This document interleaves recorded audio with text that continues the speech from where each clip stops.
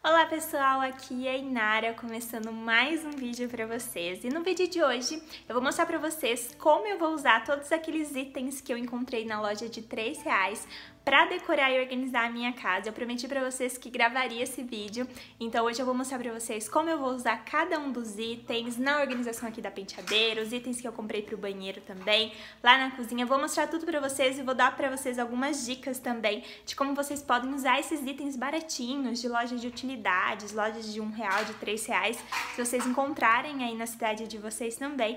Espero muito que vocês gostem. Se você gosta desse tipo de vídeo, deixa o joinha para mim, se inscreve no canal canal e vamos lá então acompanhar as dicas de hoje. Finalmente vou tirar tudo de dentro da sacola para guardar e organizar, colocar tudo no lugar junto com vocês. Então vamos lá. E quem não viu esse vídeo onde eu mostrei todos os itens, corre lá, vou deixar linkado aqui em cima para vocês. E tá bem legal esse vídeo também, mostrei todas as comprinhas, contei quanto eu gastei também, então vai lá assistir. Pipoca tá aqui dando oi, né?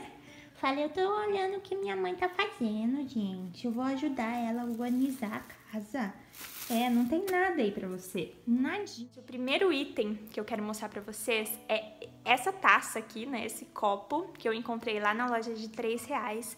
E quando eu vi, eu achei que seria legal utilizar não na cozinha, mas como um item de decoração. Eu acho que sério, parece muito com um vasinho.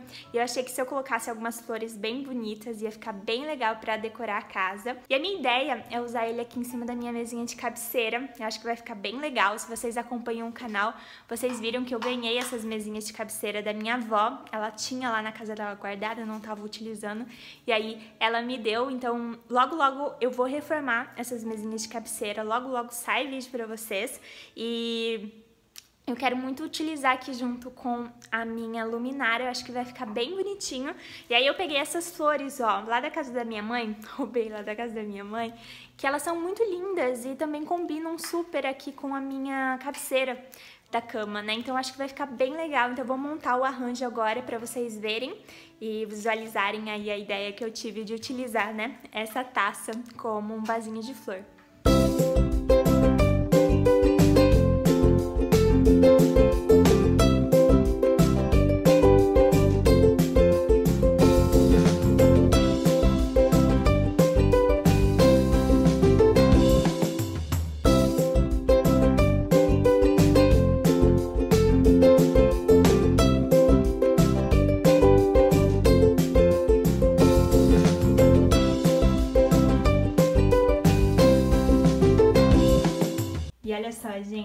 Ficou lindo. Ficou uma graça esse vasinho assim e olha só, né, com uma taça, uma taça de plástico que você encontra em lojinhas de utilidade, super barato. E eu amei o resultado de vocês que eu encontrei na loja de 3 reais foram essas cestinhas aqui, ó. Elas são bem pequenininhas e são nesse tom de rosa também que eu amo. E eu contei pra vocês no vídeo das comprinhas que eu encontrei essas cestinhas lá e eu amei justamente pelo tamanho delas, pela questão da altura. Pra quê? Pra organizar a gaveta da minha penteadeira. Acho que vocês já viram em outros vídeos que essa minha penteadeira ela não tem divisórias nas gavetas. E aí eu tava usando algumas cestinhas que eu já tinha aqui em casa, mas elas são muito grandes, então acaba que tá tudo misturado, tudo bagunçado. Eu vou mostrar pra vocês. Então acho que vai ficar bem legal porque eu vou conseguir categorizar, separar, né, o, as minhas maquiagens. Então em uma cestinha eu posso colocar os produtos de pele, em outra os produtos pra fazer os olhos. Não que eu tenha muita maquiagem, porque eu não tenho, eu tenho pouca coisa, mas acho que vai dar pra organizar bem direitinho. vou mostrar pra vocês. Ó, vou mostrar real pra vocês, hein. Vou abrir aqui a gaveta pra vocês verem o estado em que ela tá agora, tá? Tá tudo misturado, as minhas maquiagens. Tem uma, uma necessária aqui também que não devia estar tá aqui. Aquelas caixas estão vazias. Então eu vou dar uma organizada aqui usando as cestinhas e vou mostrar pra vocês.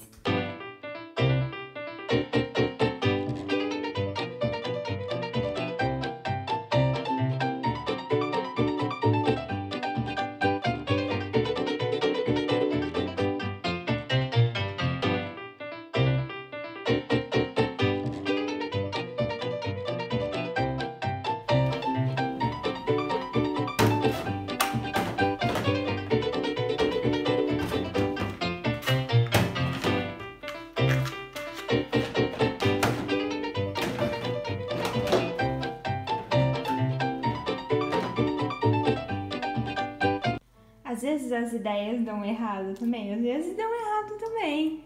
O que, que acontece, né? Eu sempre falo pra vocês, meçam antes de comprarem os produtos organizadores, né? E eu mesma não fiz isso. Olha só, tem o tamanho certinho, mas eu não contei a alça. E aí a gaveta não fecha. Olha só. Ah, senhor! Mas sabe o que eu vou fazer? Eu vou cortar essas alcinhas, né? Não vou nem utilizar e pelo menos dá certinho, ó. O tamanho dela é perfeito. Inclusive, dava até pra comprar mais pra preencher, mas eu não preciso de tudo isso. Mas deu certinho quatro, ó. Só que não fecha por conta da alça. Então, acho que eu vou cortar essa alça aqui com a tesoura e aí dá tudo certo. Ninguém viu. Tive que usar a faca quente, esquentando na boca do fogão e para poder cortar, ó, mas consegui tirar as alcinhas. E vamos ver se vai dar certo agora.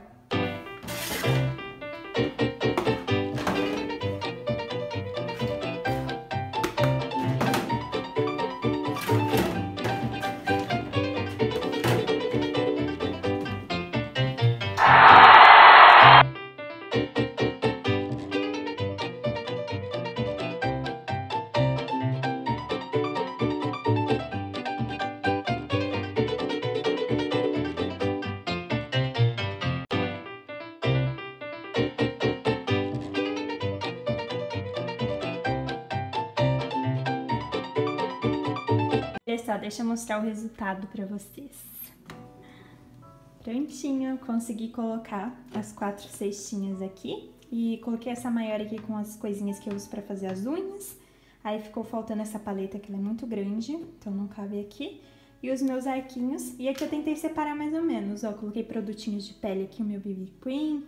Essa esponjinha que eu tenho que lavar, inclusive. Aqui tem produto pra, pros olhos, né? Então, rímel, delineador Aqui são as coisinhas que eu uso para fazer a sobrancelha e as minhas paletas de sombras. Então, consegui dar uma organizada bem melhor, né, em tudo. Então, gostei bastante. E como eu sempre falo para vocês, essas cestinhas são ótimas para organizar a casa. Tem até um vídeo aqui no canal que eu vou deixar linkado aí para vocês também, onde eu mostro várias ideias de como você pode usar cestas e caixas organizadoras aí na sua casa. Mas ó, dá para usar na, na organização da lavanderia, dá para usar no seu ateliê de costura, ou se você tem material de artesanato, dá para usar na penteadeira, dá para usar para organizar os brinquinhos, pulseiras das suas filhas, por exemplo. Enfim, dá para utilizar de muitas maneiras diferentes, dependendo do tamanho, do formato. Então, eu amo usar cestinhas e caixas organizadoras, vocês sabem. Primeiro, eu encontrei lá na loja de 3 reais esse porta-escova de dentes aqui, ó. Que eu achei bem legal, porque aqui no meu banheiro eu tenho um potinho onde eu deixo a minha escova e a minha pasta de dente, só que ela fica à mostra, né? E não é legal deixar a escova assim, à mostra no banheiro, porque na hora que você dá descarga e tal... Então, eu encontrei lá e achei bem legal, na cor que eu amo. E aí eu trouxe, eu vou guardar a pasta de dente, a minha escova de dentes aqui dentro. E é legal que eu também acabo usando como decoração aqui no banheiro também. Então, vou mostrar pra vocês.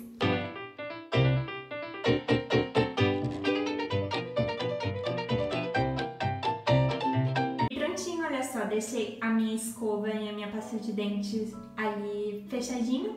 E usei o potinho que eu tava usando pra colocar a escova e a pasta como um vasinho mesmo, então uso aqui na decoração. Fica bem legal.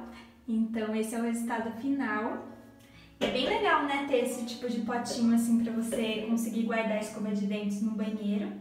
Então eu amei. banheiro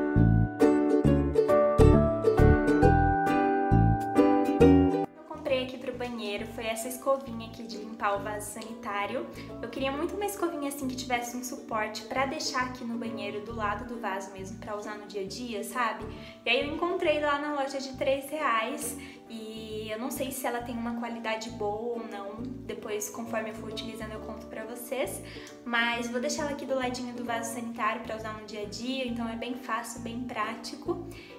É legal que ela também decora, né? Como é na cor que eu uso para decorar minha casa, também fica bonitinho para decorar.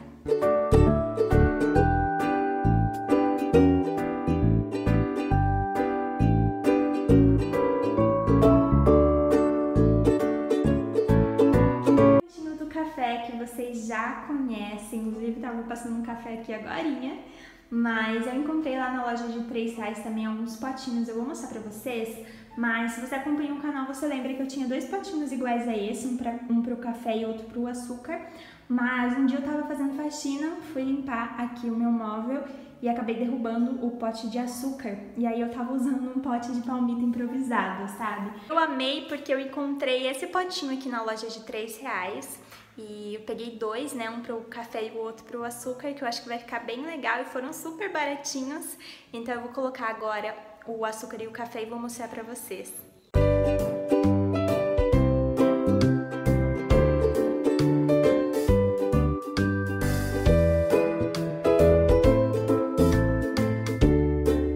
Sabem que eu amo colocar etiquetas, assim, acho que fica um charme na cozinha. Então eu peguei aqui as minhas etiquetinhas e a minha caneta branca e eu vou colar lá nos potinhos.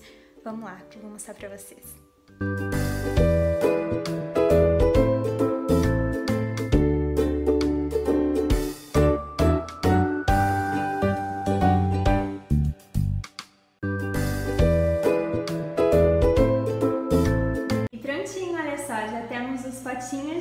de açúcar, coloquei as etiquetinhas também. Aproveitei e coloquei as minhas duas xícaras ali também, ó. Achei que ficou bem legal com o quadrinho de Eu Amo Cheirinho de Café na Mesa.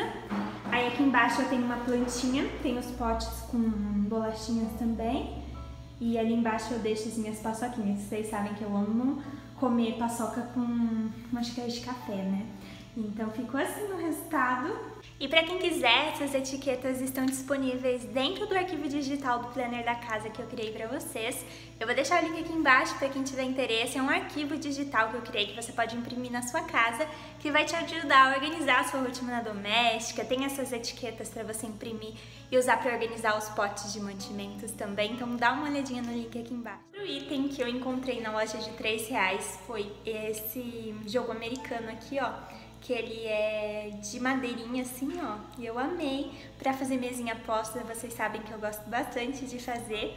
Então, eu não tinha nenhum assim de madeira, só tinha de tecido e aqueles que eu já mostrei para vocês também no outro vídeo de ideias de decoração com itens da loja de um real. Mas eu vou mostrar para vocês algumas outras ideias de como você pode utilizar esse tipo de jogo americano aqui para decorar a cozinha. Quer ver só? Olha só, fica super fofinho para fazer uma mesinha posta, assim, se você mora sozinha também. Mas eu vou mostrar para vocês outras maneiras de utilizar esse tipo de jogo americano para decorar a cozinha. Então, vamos lá. Uma dessas maneiras é aqui em cima da geladeira. Você pode usar para decorar. E aí, eu sempre gosto de deixar esses potinhos aqui, ó, com aveia, chia, granola. Acho que fica bem bonitinho. E aí você pode deixar assim, ó, já dá um destaque, né, dá uma colorida na geladeira. Então eu amo essa ideia. Outra ideia, gente, é essa, você usar como uma fruteira para compor aí um centro de mesa.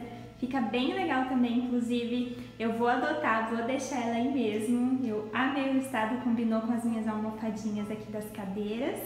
Então é outra ideia aí para você utilizar esse tipo de jogo americano, né? Paguei super baratinho nele e é super legal porque dá pra usar, né, em vários cantinhos aí da cozinha.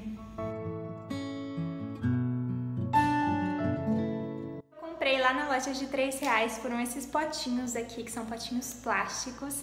Acabou saindo um real cada um. E eu comprei, na verdade, para poder congelar feijão, porque eles são do tamanho ideal para mim congelar uma porção de feijão para mim no dia a dia, sabe? Para uma refeição. Mas eu vou dar uma outra ideia para vocês de como utilizar esses potinhos aí na cozinha. A ideia é justamente você usar para guardar temperinhos na cozinha. Como eles são pequenos, fica super legal, você consegue guardar orégano, aqui eu dei orégano, camomila e folha de louro. Mas aí você pode comprar vários e usar para organizar os seus temperinhos, os temperinhos que você mais gosta de utilizar na cozinha. E é legal que você pode até colar uma etiquetinha aqui em cima, como eu fiz lá com os potes de açúcar e café. Você pode colocar uma etiquetinha com o nome, né? dos temperinhos e fica super legal, olha. Coisa ótima de comprar nessas lojas são copos, gente. Eles saem super baratinhos. Eu comprei esses dois aqui na loja de 3 reais. Porque eu até comentei no vídeo das comprinhas que eu tenho um monte de xícara de café e de caneca, mas copos mesmo de vidro eu tenho pouquíssimos, eu vou mostrar pra vocês. O armário, gente, eu tenho um monte de canecas, várias xícaras de café e copo mesmo, eu tenho dois, né? Porque esse daqui também é uma xícara de café. Então eu comprei esses dois copos aqui, ó, que eu achei eles muito lindos e vou lavar agora para guardar aqui. Mas eu gostei bastante, ó, eles têm esses detalhes e foram super baratinhos. Pessoal, esse foi o vídeo de hoje. Espero muito que vocês tenham gostado das ideias, de ver um pouquinho de como eu utilizei, né, os itens que eu comprei na loja de 3 reais aqui na decoração e organização da minha casa. Se você gostou, deixa o joinha pra mim, se inscreve no canal e compartilha o canal com uma amiga sua que gosta também de decoração, de organização da casa ou que mora sozinha. Comenta com ela sobre o canal que eu tenho certeza que ela vai amar e vai me ajudar muito também a fazer o canal crescer, a outras pessoas conhecerem o meu trabalho. E é isso, então a gente se vê no próximo vídeo. Um super beijo e até lá!